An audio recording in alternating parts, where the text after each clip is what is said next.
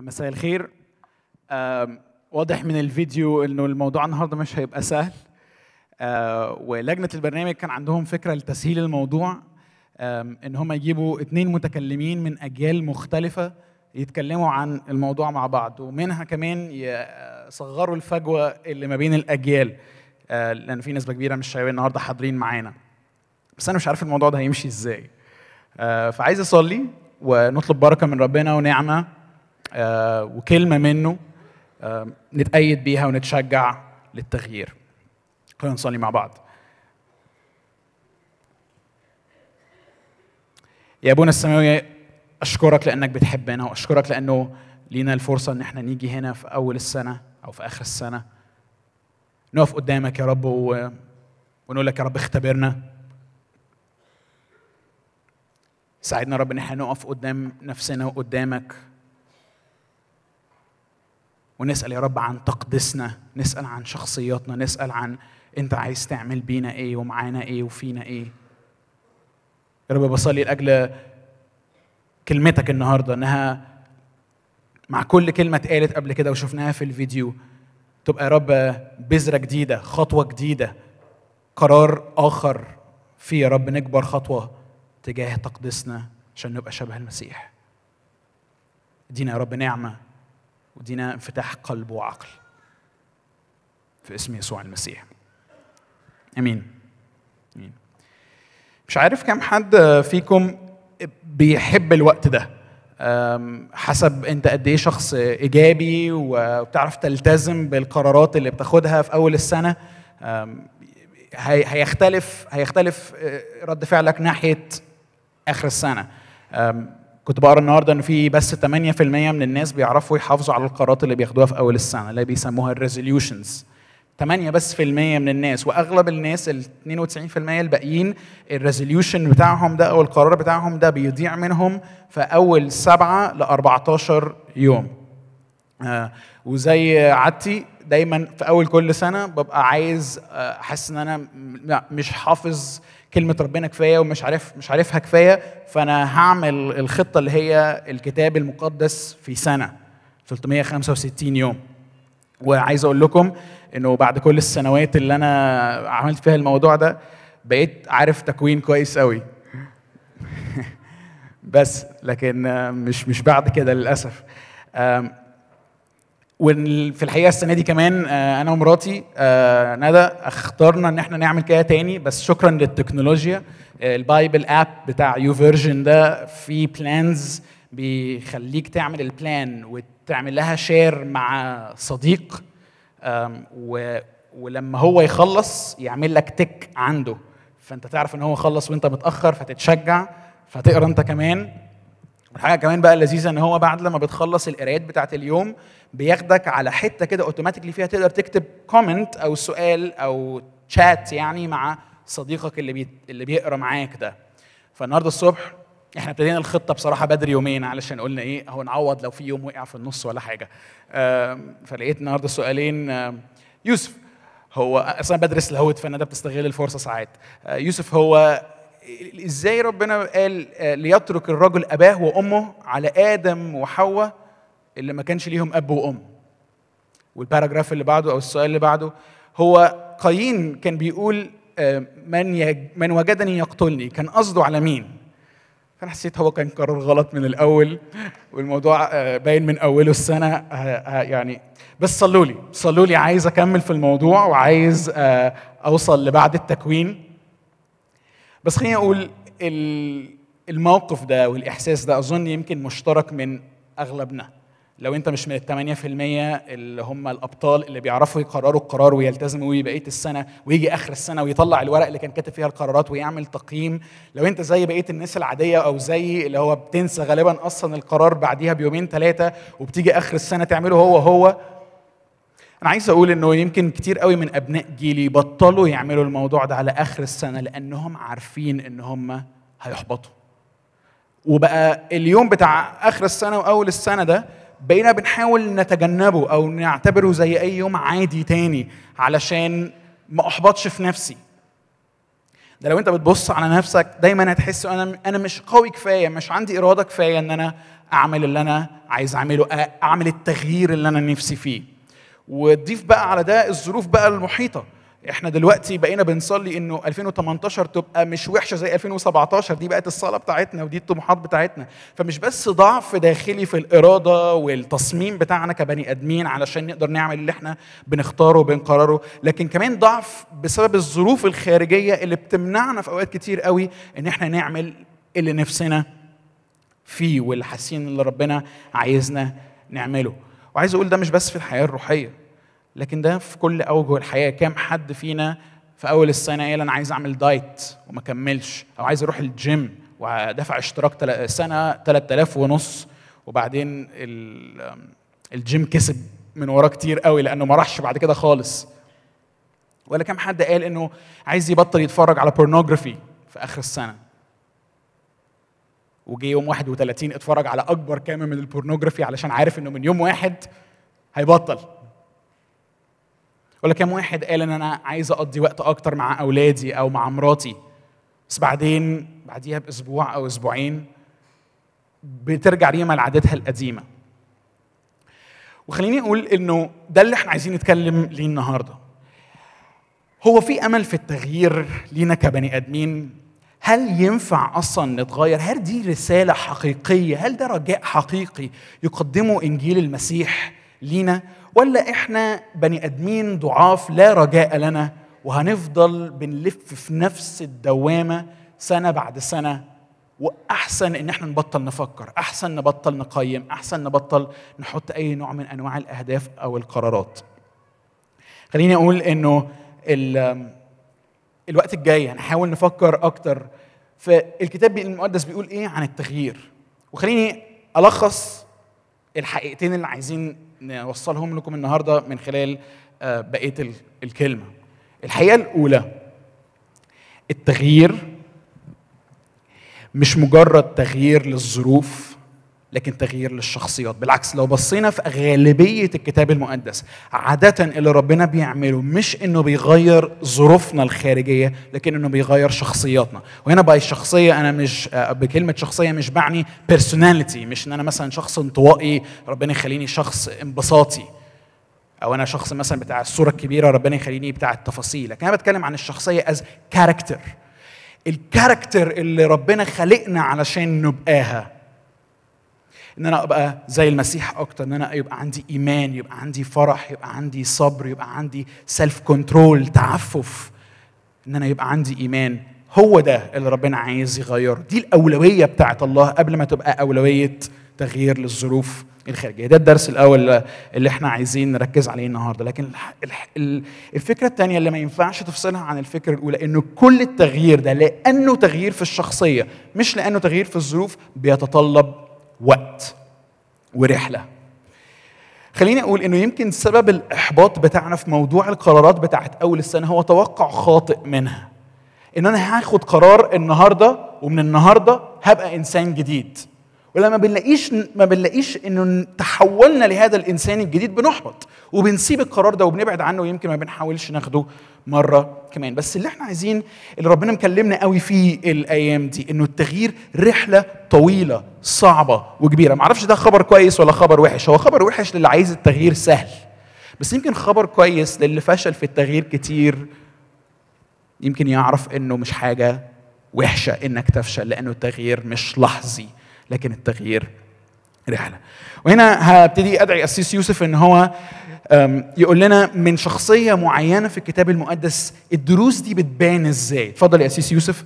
إحنا اخترنا شخصية يعقوب. اسيس يوسف وأنا قعدنا مع بعض أكتر من مرة نفكر إزاي نقدر نوصل المف... المفاهيم دي من شخصية كتابية. واخترنا يعقوب.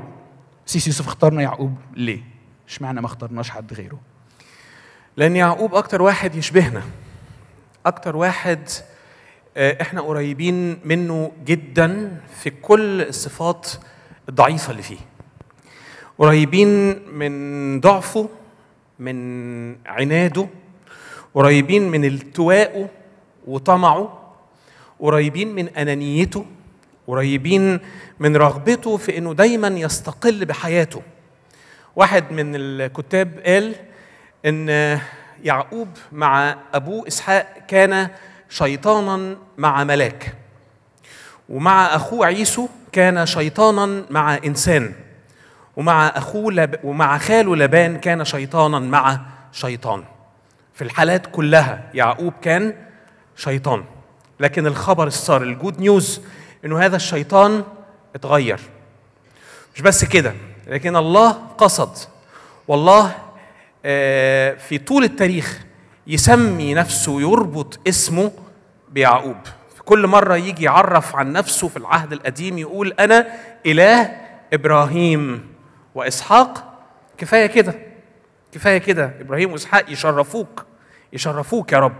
لكن يقول إله إبراهيم وإسحاق ويعقوب هذا الشيطان الذي تغير. زي ما كان يوسف بيقول دلوقتي آه عايزين نقف قدام التغيير اللي حصل في حياة يعقوب.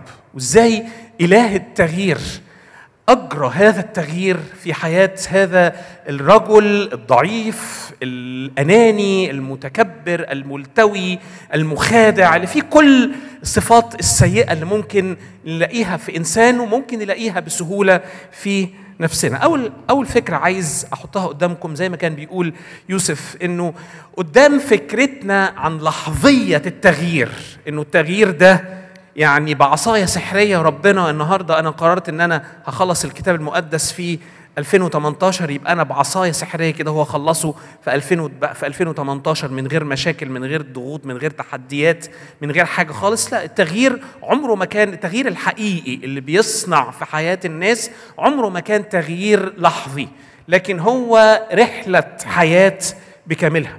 تغيير في حياة يعقوب لما نقرأ قصة حياة يعقوب على فكرة قصة حياة يعقوب أكبر قصة في قصص الآباء. واخدة تقريبا من من تكوين 25 لحد تكوين 49 يعني 15 أصحاح تقريبا بيتكلم فيهم على هذه الشخصية وكأن الوحي حتى في طول القصة عايز يبين لنا إنه القصة الطويلة دي هي قصة تغيير. هي قصة ربنا أخذ فيها وقت مع هذا الإنسان. قصة التغيير في حياة يعقوب ما جاتش فجأة. جت في طول الرحلة. يمكن من من بداية رحلة التغيير دي حصلت لما يعقوب ساب بيته بيت أبوه بيت ابوه إسحاق وبيت رفقة وطلع للبرية وتقابل مع الله في البرية لما شاف السلم الصاعدة إلى السماء. من هنا هو ابتدت لحظة التغيير ولم تتوقف الرحلة دي لحد نهاية حياته. بل إحنا نقدر كمان نقول إنه تباشير التغيير في حياة يعقوب جت إمتى؟ جت في نهايات حياته. يعني طول الرحلة دي ما كانش فيه هنتس كده أهو إنه في أمل من الراجل ده. في نهاية حياته بعد ما عياله كبروا في تكوين 35 إحنا من تكوين 25 لتكوين 34 مفيش تغييرات كبيرة في حياة يعقوب ودي span of time يعني يعني يعني جزء كبير من حياته من 25 ل 34 مفيش تقريبا أي لمحات عن التغيير. نبتدي كده أهو نشم ريح التغيير في تكوين 35 لما يقول كده هو ثم قال الله يعقوب قم اصعد إلى بيت إيل وأقم هناك. وبعدين يعقوب كده هو يهم ويقوم قايل إيه؟ فقال يعقوب لبيته ولكل من كان معه اعزلوا الآلهة الغريبة التي بينكم وتطهروا وأبدلوا ثيابكم ولنقم ولنصعد إلى بيت إيل فأصنع هناك مذبحا للرب الذي استجاب لي في يوم ضيقي دي أول مرة نشوف يعقوب شخص جاد. شوف يعقوب عنده علاقة حقيقية مع ربنا. نشوف الكاركتر بتاعت يعقوب ابتدت تتكون على صورة الله على رغبة الله. أول مرة. وتاني مرة ويمكن المرة الثانية والأخيرة اللي بنشوف فيها يعني شهادة من السماء شهادة من السماء للتغيير بتاع يعقوب حصل لما يعقوب عرف إن ابنه يوسف موجود في مصر. ده كان تقريبا عنده 130 سنة لأنه عاش 147 سنة 17 منهم 17 سنة منهم عاش في مصر. فلما عرف إن يوسف في مصر راح قدم ذبيحة علشان يعني يشكر ربنا.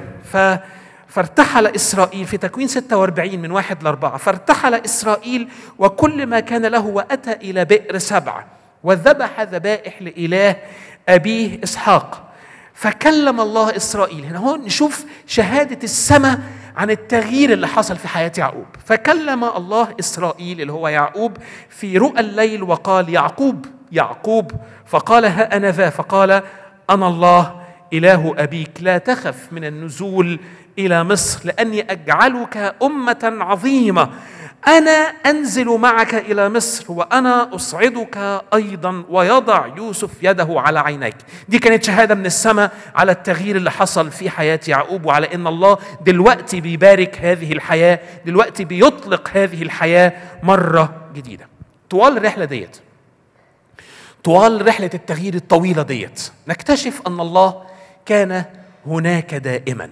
رغم أن إحنا يعني ما نلاحظش وجود ربنا كتير في حياة يعقوب لكن على الأقل في ثلاث محطات كبار في حياة يعقوب أول محطة ليه لما ساب بيته وراح البرية وتقابل مع الله سمى هذا المكان فاكرين سماه إيه؟ سماه إيه؟ بيت إيل يقول لأنه ما هذا إلا بيت الله وهذا باب السماء وكأنه بيشهد على أنه الله مش سايبه لوحده في هذه الرحلة رحلة التغيير. المرة الثانية لنجد يعقوب بيتلامس فيها مع ربنا ونشوف ربنا وهو موجود في عمق الرحلة في عمق رحلة التغيير. لما راح يعقوب وهو مستني إن هو يقابل عيسو وخايف جدا جدا من مقابلة عيسو راح لحتة اسمها مخاضة يبوق.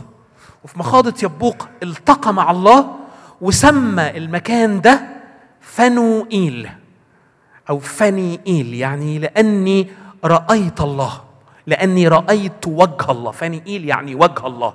كأنه مرة تانية ربنا بيثبت أنه موجود في الرحلة في الرحلة الطويلة دي اللي أنت ممكن تكون فشلت فيها أو ابتديت أنك تقرأ الكتاب المقدس وفشلت فيه أو ابتديت حاولت تبتدي دايت وفشلت فيه.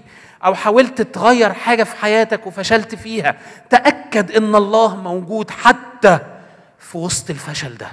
ربنا كان موجود في كل حياة يعقوب. وآخر مرة آخر مرة نشوف يعقوب وهو شاعر بحضور ربنا في رحلة التغيير دي في نهاية حياته خالص. وهو بيكلم يوسف بعد ما راح مصر وقعد 17 سنة وهو تقريبا خلاص بيسيب حياته.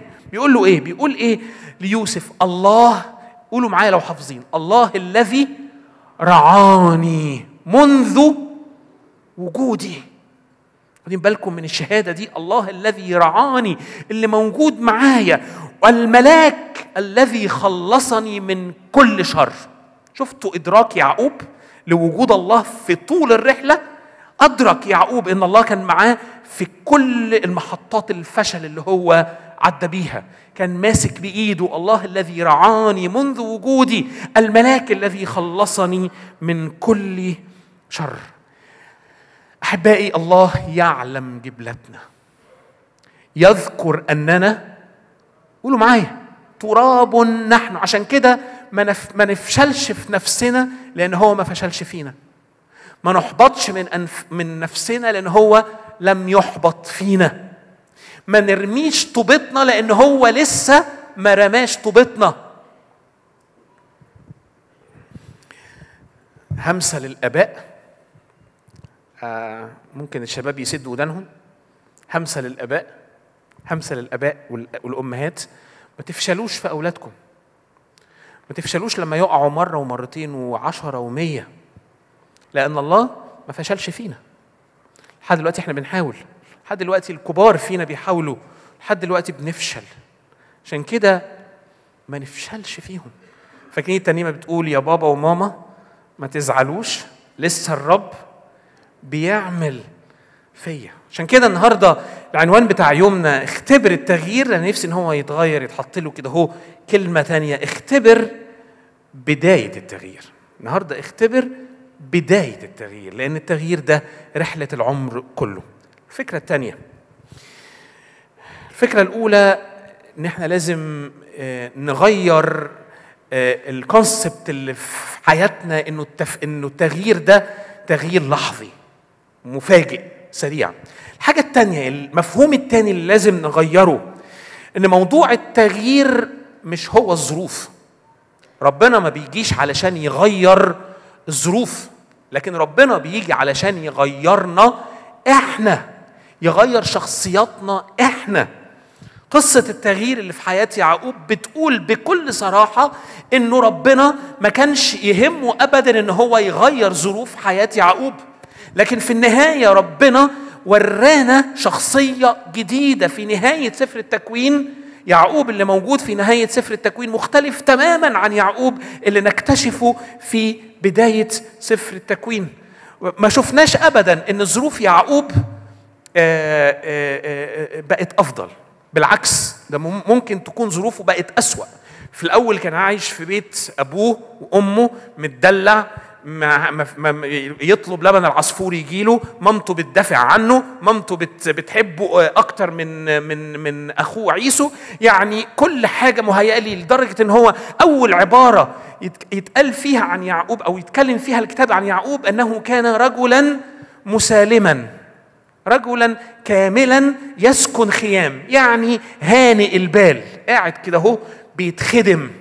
فجأة نلاقي ظروفه عمالة بتتدحضر مرة ورا التانية ورا التالتة ورا الرابعة عمالة بتتكركب عليه الحياة وك وكأن الله بيقول أنا مش عايز أغير ظروفك أنا عايز يا يعقوب أغيرك. ودي الرسالة بتاعت النهاردة. ربنا بيقول لك أنا مش عايز أغير ظروفك أنا عايز أغيرك أنت ليه؟ الأفضل. يعقوب اللي كان عايش في البداية في اعتمادية كاملة على مامته كل حاجة تقولها له يعملها.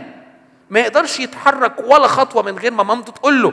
فجأة نكتشف إن يعقوب ده قدر يواجه عيسو لوحده لما قابله. قدر إن هو يواجه لابان لوحده. قدر إن هو يواجه قسوة أولاده لوحده. يعقوب اللي ما كانش يعرف يتصرف ولا خطوة من غير مامته بقى بيواجه كل هذه الظروف الصعبة بمفرده. يوسف يعقوب اللي كان عايش في أنانية كاملة وتمركز كامل حوالين ذاته فجأة نكتشف إن هو بيخدم 14 سنة. عارفين 14 سنة خدمة في ثانوي؟ 14 سنة خدمة راعي علشان يفوز بقلب رحيل. ده كان طول وقته عايش علشان نفسه فجأة بيكتشف إنه يقدر يعيش 14 سنة بيشتغل. أشغال شقة شرشلة فم. عارفين حكاية شرشلة فم دي؟ ابحث عن المرأة. قعد 14 سنة يشتغل في الراعي علشان عشان بيحب رحيل. هوشع يقول الكلمات دي عن يعقوب وهرب يعقوب إلى صحراء آرام. وخدم إسرائيل إسرائيل اللي هو يعقوب خدم إسرائيل لأجل امرأة ولأجل امرأة رعى. ده اللي ما كانش بيحب حد في حياته إلا هو. ما كانش مهتم في حياته كلها إلا بشخص واحد اسمه يعقوب. قدر إن هو يعيش 14 سنة ويخدم في الرعي 14 سنة مع كل مشقة الرعي علشان هذه المرأة. آخذ البركة المستولي على البركة والبكورية في نهاية حياته بنلاقيه ان هو بيقدم البركة. والمين؟ لعيسو اللي خطف منه اللي اخذ منه البركة واللي اخذ منه البكورية في نهاية حياته. يعقوب يقول الكتاب في في سفر التكوين أصحاح 32 ألح عليه فأخذ. يعني عيسو قال له أنا عندي كفاية ما تدينيش حاجة. قعد يزن عليه قال له أنا عندي كتير وأنا عايزك تاخد من اللي ربنا باركني بيه وباركه بارك عيسو. بدل ما أخذ منه البركة في بداية حياته يقول إن هو بارك عيسو وألح عليه فأخذ. هو ده التغيير اللي ربنا بيعمله وعايز يعمله في شخصياتنا. شخصية الاعتمادية تتحول شخصية الأنانية تتحول شخصية المتكبرة تتحول الشخصية اللي بتاخد تتحول إن هي تكون إن هي تكون معطاءة. والقصة الكتابية عبقرية. في إن هي عبرت عن فكرة التغيير ده. إن هي قالت إنه هذا الشخص مش بس اتغيرت شخصيته ده من كتر ما حياته وشخصيته اتغيرت. ربنا في النهاية غير حتى اسمه. غير اسمه. قال له بدل ما يبقى اسمك يعقوب المتعقب اللي عايز كل حاجة لنفسه أنا هسميك إسرائيل. إسرائيل معناه يجاهد فيرى الله. هسميك إسرائيل إنك تجاهد إنك تعيش حياة التغيير علشان في نهاية الأمر تراني تراني في وسط كل هذه الظروف. ممكن بابا وماما بقى يقفلوا ودانهم عشان أكلم الصغيرين. همسة في أذن الشباب. تفتكرش إنه كل اللي تحلم بيه وهيسعدك إنه ظروفك تتغير. وما تفتكرش إنه إنه علشان تعمل كده إنك تقعد تضغط على بابا وماما وتضغط على أهلك وأنت متذمر على كل الظروف اللي أنت فيها وكأن عندما تتغير هذه الظروف هتتغير حياتك. على فكرة يعقوب كان عنده البركة والبكورية كان عنده كل البركات وما استفادش بيها ابدا إلا لما اتغيرت شخصيته. ما هو البك- البركة والبكورية. عمل بيهم إيه؟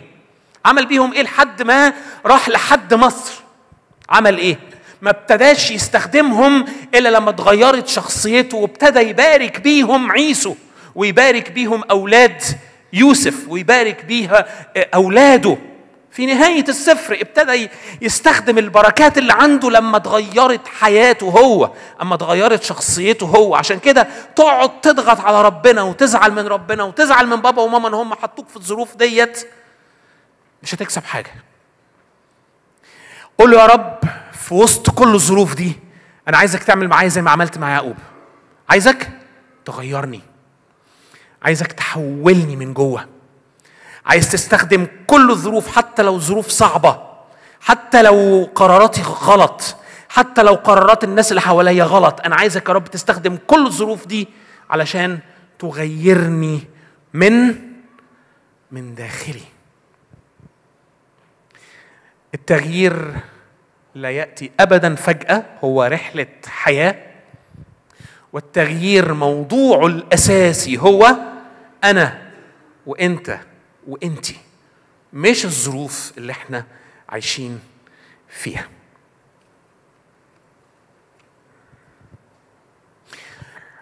أنا عايز أدعو يوسف دلوقتي إن هو يرجع تاني. حطوا قدامنا ربما أهم موقف في حياة عيسو في حياة يعقوب. الموقف اللي نقدر نلخص بيه كل القصة ونطلع بالكونكلوجن النهائي اللي نصلي علشانه في بداية سنة جديدة. خلونا نفتح مع بعض تكوين 32 آه غالبا هيطلع على الشاشة بس برضو لو انت بتحب تفتح الكتاب المقدس في إيدك تكوين 32 عدد 22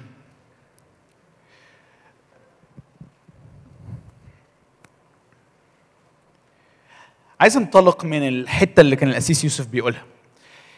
ربنا مش بس استخدم الظروف الصعبة بتاعت يعقوب علشان يغير شخصيته لكنه كمان استخدم اختياراته الخاطئة استخدم فشله. بصراحة إحنا مش مختارين يعقوب علشان هو شخصية جميلة يحتذى بيها لكن مختارين يعقوب لأنه باين خطيته باين عيوبه باين صراعاته وتشابهها مع صراعاتنا وازاي ربنا من خلال تعاملات مختلفة اتعامل معاه وغيره. ربنا قابل إبراهيم يعقوب أكتر من مرة. ولا واحدة منهم حصل فيها التغيير اللي هو 100% لكن كل مرة كان فيها خطوة. لو أنت مستني تعامل مع الله أمين شجعك قوي إنك تنتظر الله. بس حتى في التعاملات دي ده لا يلغي مشوار ورحلة سكة التغيير. وهنشوف ده في النص اللي إحنا هنقراه. دلوقتي. كلنا عارفين أو أغلب الناس عارفة ال ال ال يعني الفقرة دي أو الموقف ده في حياة يعقوب. يعقوب بعد لما ضحك على أخوه عيسو بعديها بسنين اتقابلوا وبعدين سمع إنه عيسو اللي هو ضحك عليه من سنين ده جاي ومعاه 400 رجل جيش تقريبا. فيعقوب خاف خاف على مراته خاف على عياله خاف على ممتلكاته والتوقع إنه عيسو كان هيذبحه وينتقم منه. فاللي عمله يعقوب هو الآتي إن هو قسم العائلات بتاعته. حط رحيل ويوسف في الآخر لأنه دول اللي كانوا قريبين من قلبه. وبعدين حط الباقي في الأول وعمل زي فرقتين عشان لو الفرقة الأولى راحت الفرقة الثانية تنقذ. وبعدين بعتهم. واللي حصل بقى هو الآتي. اقروا معايا. ثم قام في تلك الليلة وأخذ امرأتيه وجاريتيه واولاد وأولاده الأحد عشر وعبر مخاضة يبوق. أخذهم وأجازهم الوادي وأجاز ما كان له. فبقى يعقوب وحده وصارعه إنسان حتى طلوع الفجر. ولما رأى أنه لا يقدر عليه بيتكلم عن الإنسان ده لا يقدر على يعقوب ضرب أو لمس في بعض الترجمات الأخرى حق فخذه. فصل يعني العظمة بتاعت فخذه عن الحوض. فانخلع حق فخذ يعقوب في مصارعته معه. وقال أطلقني لأنه قد طلع الفجر. ده الإنسان ده. فقال يعقوب لا أطلقك إن لم تباركني. فقال له ما اسمك؟ فقال يعقوب فقال آسف يعقوب. فقال لا يدعى اسمك فيما بعد يعقوب بل إسرائيل لأنك جاهدت مع الله والناس وقدرت ال... وإحنا بنحاول ندور في المعنى بتاع القصة دي. لو حد خد باله هي قصة غريبة. مين الإنسان ده؟ وأغلب ال... ال... المفسرين بيقولوا إنه ده ده تصوير جسدي لله نفسه. فالله بيصارع مع يعقوب. واحد بقى يستغرب شوية. لو الله بيتجسد بطريقة ما وبي... وبيصارع مع يعقوب ليه ما, غلبوش من الأول. ليه فضل معاه حتى طلوع الفجر؟ يعني المفروض مفيش منافسة يعني. وحتى في الترجمة الأدق اللي أنا قلت لكم عليها إنه هو بس لمس حق فخذه. طب ليه بقى الصراع ده؟ والمصادر اللي حاولنا نبص عليها بتقول الآتي. المشهد ده مش مجرد مقابلة مع الله لكنه مشهد فيه كل حياة يعقوب بتتلخص. كلمة الإنجليزي epitome. ابيتمي يعني بتاخد كل الأفكار وكل المواقف وكل الحاجات اللي حصلت مع يعقوب وبتصورها في موقف واحد. مين يعقوب؟ إنسان يصارع مع الله. يصارع على إيه؟ هو ده السؤال. غالبا يصارع على التحكم. يعقوب ده واحد عاش طول حياته بيخطط ويتكتك ويفكر إزاي يتحكم في الآخرين. إزاي ياخد اللي هو عايزه إزاي يضحك على الناس إزاي يطلع بأقل خسائر ممكنة وأكثر مكسب ممكن. ده مش حد عايز يخضع لله مش عايز يمشي على إيمان أبائه لكن حد عايز يفكر بمنطقه يفكر بقدرته على التخطيط. فكأنه المشهد ده بيحاول يقول لنا هو ده بالظبط حتى كلمة إلى طلوع الفجر كأنها بتحاول تقول لك مدة مدة صراع طويلة وكأنه ربنا بيقول له بتصارعني ليه؟ ليه مش قادر تسلم؟ ليه مش قادر تتكل؟ ليه بس عايز تتحكم؟ وأنا عايز أقول يمكن دي سنة صراع لكل إنسان فينا كلنا من يعني بطريقة أو بأخرى بنحاول نقول لربنا إحنا واثقين فيك واثقين في تحكمك في حياتنا وسلطانك على حياتنا وعلى ظروفنا. بس بنتكتك وبنفكر.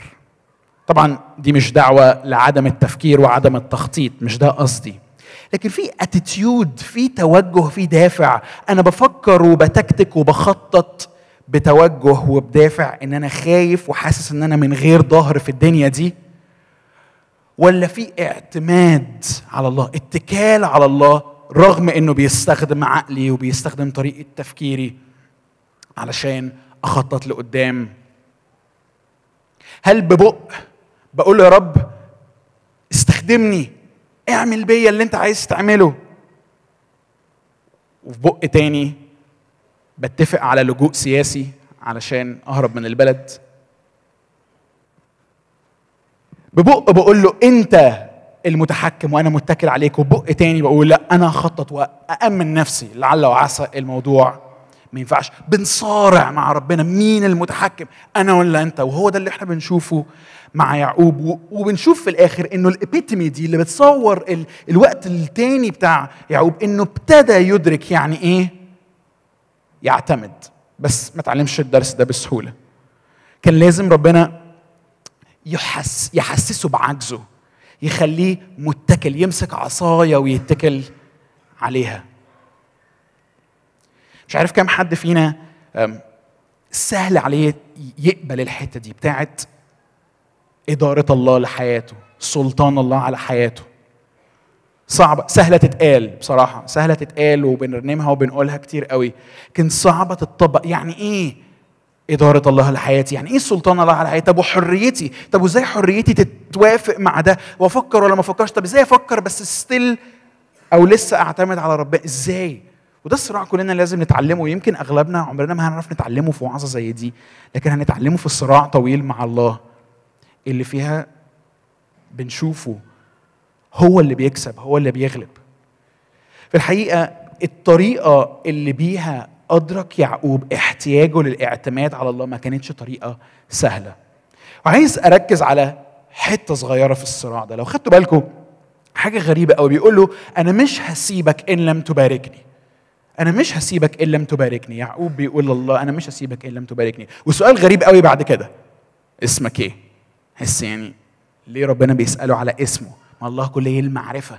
ما هو عارف اسمه. بس ليه بيسألوا على اسمه؟ بس لو خدتوا بالكم آخر مرة يعقوب كان بيطلب بركة واتسأل على اسمه قال أنا اسمي إيه؟ قال أنا اسمي عيسو. فآخر مرة يعقوب كان فيها بيتكتك وبيفكر وماشي بطريقته. ما كانش قادر يعترف إنه لا يستحق. الابن الأول هو اللي كان ليه حق البركة مش الابن التاني. فعلشان ياخد اللي أنا عايزه همثل إن أنا حد تاني. أحاول أستحق بركة ليست من حقي. وعشان كده الله بيسأله اسمك إيه؟ وفي اللحظة بس اللي فيها يعترف إنه عاجز إنه لا يستحق إن هو يعقوب إن هو مش عيسو. دي اللحظة اللي فيها ينفع نبتدي نتغير. مش دي رسالة الإنجيل يا جماعة؟ مش رسالة الإنجيل رسالة النعمة إن إحنا لا نستحق لكن بالنعمة اللي اكتسبها يسوع المسيح بحياته وموته وقيامته لأجلنا إحنا لينا ما لا نستحقه. وده مختلف عن الرحمة النعمة مش هي الرحمة. الرحمة إنه ما يقعش علينا العقاب اللي إحنا نستحقه. لكن النعمة إن إحنا ناخد اللي إحنا ما نستحقوش. وهي دي البداية ودي مش مش فكرة دي حاجة بعملها وأنا صغير في اجتماع إعدادي بقول يا رب أنا ما استحقش تعالى آه، اديني نعمة. لكن دي ده قرار يومي لكل واحد وواحدة فينا بغض النظر إحنا واقفين فين ولا سننا قد إيه ولا ولا في إحنا في أنهي مرحلة في الحياة ولا في أنهي حتى مرحلة في الإيمان. إحنا كل يوم محتاجين نقول لله أنت المتحكم وأنا ما استحقش أنا ضعيف أنا يعقوب أنا مش عيسو أنا محتاج نعمة أنا لا أستحق. يعقوب هو ده هو الشخص اللي في آخر رسالة آخر سفر التكوين يتنبأ بالمسيح القادم من سبط يهوذا. كأنه كان شايف إنه إحنا ما نستحقش. اتعلم الدرس ده. وإنه ما ينفعش أعتمد على نفسي. لكن محتاج آجي أسلم محتاج آجي أعتمد محتاج آجي أعترف بإفلاسي الروحي والمادي والجسدي. أقول له رب أنا ما أقدرش أنا عايزك أنت اللي تتحكم. وهي دي بقى فكرة التسمية. اللي بيسمي حد ده معناها إنه ليه سلطان عليه. زي ما كان آدم كده بيسمي الحيوانات معناهم إنه آدم ليه سلطان على الحيوانات. هو ده بالظبط خلقهم لكي يتسلطوا. والله بيسمي يعقوب. إسرائيل معناه ليه السلطان ويعقوب يقبل السلطان ده؟ دي بداية التغيير. مش كده لكن بداية زي ما كان القسيس يوسف بيقول. تغيير مش تغيير فقط للظروف لكنه أيضا تغيير للشخصية. هو في الأساس تغيير للشخصية. ده هيتطلب صبر وهيتطلب تعاملات الله وهيتطلب ظهورات وهيتطلب انتظار. لكن هو رحلة. الرحله بمشيهاش لوحدي بس بمشيها مع إله موجود ليه سلطان على حياتي. إذا أنا سمحت له بعتمد على أمانته وصلاحه مش على ذكائي وتخطيطي حتى لو أنا بخطط. بس الاعتمادية قلبي فين؟ ثقتي فين؟ ده اللي نفسنا نسيبه معاكم الوقت اللي جاي. وفي الوقت ده هدعو الباند إن إحنا ناخد وقت نصلي فيه ونحط قلوبنا ودوافعنا قدام الله. أنا متأكد إنه محدش فينا النهارده سمع حاجة جديدة عمره ما سمعها قبل كده. وهي دي الفكرة هي دي التغيير. مش حاجة جديدة مش مش مش إعلان رهيب يغير حياتي من من كده لكده. ساعات بتحصل بس حتى ده تغيير بيبقى للسلوك مش للشخصية. النهارده مش قرار جديد عمري ما خدته قبل كده ولا ال resolution بتاعت أول أسبوع ولا ولا أول أسبوعين حاجة تخلص في 2018 بس دي ال resolution بتاعت كل يوم بتاعت كل أسبوع وبتاعت كل شهر وبتاعت كل سنة. أنت الأول وأنا التاني أنت الرئيس وأنا الوكيل أنت المتحكم وأنا المتكل. أنت الله وأنا يعقوب. ده إحنا. شجعك وشجعك إنه في الوقت ده ما يبقاش بس فكرك وتركيزك على إيه الحاجات اللي أنا محتاج أعملها السنة دي عشان أحس إنه السنة دي ناجحة. لكن محتاج تبتدي تسأل السؤال أنا محتاج أبقى مين؟ إيه نوع الشخص؟ إيه نوع الشخص اللي ربنا عايز يخلقه فيا؟ وإزاي أقدر أبتدي النهارده مع الله هذه الرحلة في التغيير؟ تحبوا نصلي تحبوا نبتدي نغمض عينينا نحط عقولنا ودوافعنا وقلوبنا وسننا قدام الله.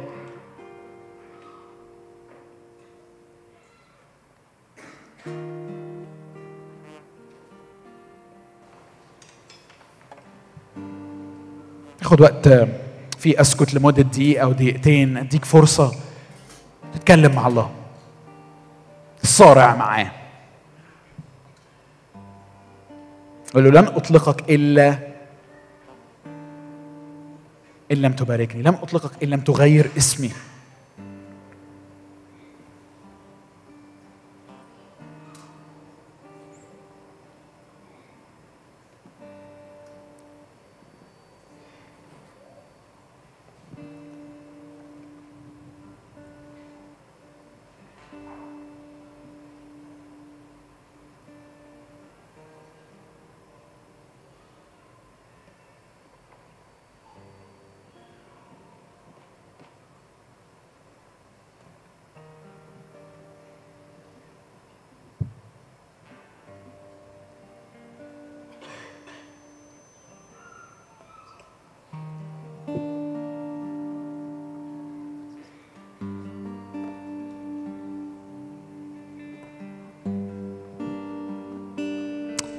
يا رب يا إله يعقوب أشكرك لأجل إنك بتحبنا. أشكرك إن أنت بتحبنا زي ما إحنا. أشكرك إن إحنا مش محتاجين نبقى عيسو مش محتاجين نستحق لكي نأخذ بركة. لكن يا رب نقبل نقبل إن إحنا ضعفاء نقبل إن إحنا ما نقدرش نقبل إن إحنا ما نستحقش. نقبل إن إحنا محتاجينك. ادينا يا رب هذا الفكر هذا التوجه الداخلي اللي فيها يا رب ندرك إنه مفيش أي طريقة بيها نقدر نضمن أنفسنا أو مستقبلنا غير إن إحنا نرميهم في إيديك ونسلمهم ليك.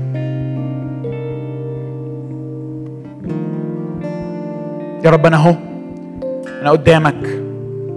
اعملني أنت الشخصية اللي أنت عايزني أبقاها اللي أنت كنت خالقني في الأصل لكي أكونها. قدس دوافعي قدس أولوياتي قدس مخاوفي فاصير مثل المسيح. أنا هبطل أصارع هبطل اقاوم سأسلم. ويا رب لو ولو أنا من النوع العنيد اللي ما بيبطلش يصارع اخلعني. اخلع حق فخذي.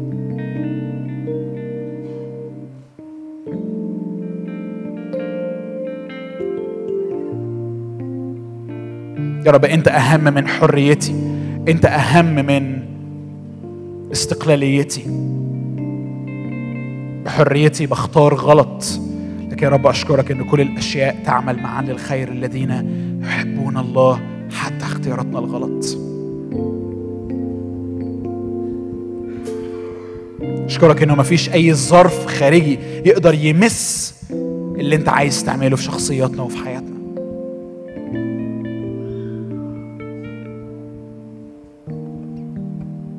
يا رب بنقدم أنفسنا ليك. ذبيحه حية.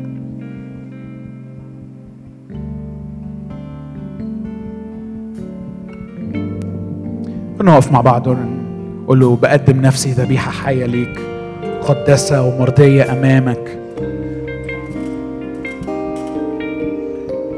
اكسر طيبي اكسر ضامن مستقبلي مصدر دخلي عند رجليك. أقول لك أنا معتمد عليك أنت مش معتمد على حاجة بملكها.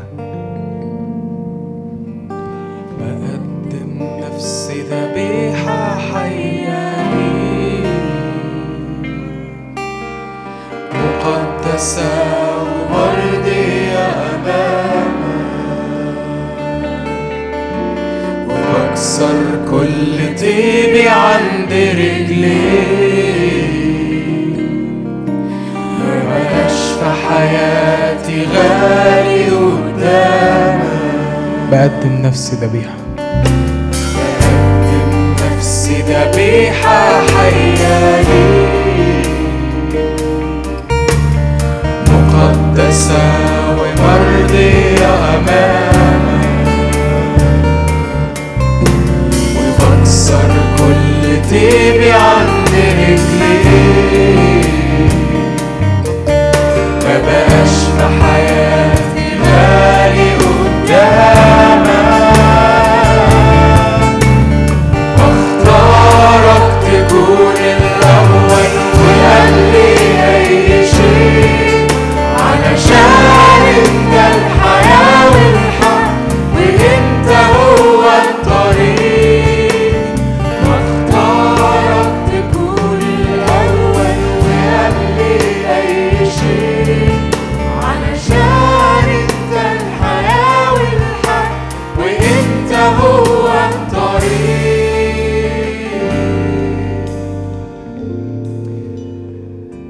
ننتقل للوقت اللي فيه بنصلي لأجل السنة الجديدة وبناخد قرارات بتوجه جديد بتوقع مختلف للتغيير. صلي. إنه نعطي أنفسنا لله كخزف في يد فخاري. مش حاجة سهلة. ترنيمة حلوة بس مش مش قرار سهل. في نخضع ذاتنا ونوقف عنادنا. عشان هو اللي يعمل اللي هو عايزه في حياتنا وده هياخد وقت ومش بقرار ومش ب resolution واحد لكن بقرار كل يوم. تقول أنا أنا أنا عايز أنا عايز أمشي السكة دي. أنا عايز أمشي السكة دي. أنا أنا أنا عجباني السكة دي. عجباني أكتر من ال one time shot التغيير المرة واحدة التغيير المره الواحده اللي بيمشي بسرعة اللي بيمشي في في 98 ولا 92% من الناس في 14 يوم أنا عايز التغيير اللي يدوم أنا عايز السكة دي. أصعب أوكي بس أنا عارف إن أنا مش لوحدي. أنا عارف إنه أنت الفخاري اللي اللي ماسك اللي عندك سلطان اللي, اللي بتعرف أنت بتعمل إيه في حياتي وتقدر تستخدم أي ظرف أو أي اختيار سواء غلط أو صح علشان تشكلني. أيها الفخاري الأعظم أنا كالخزف بين يديك. فكر في الكلام وإحنا بنقوله.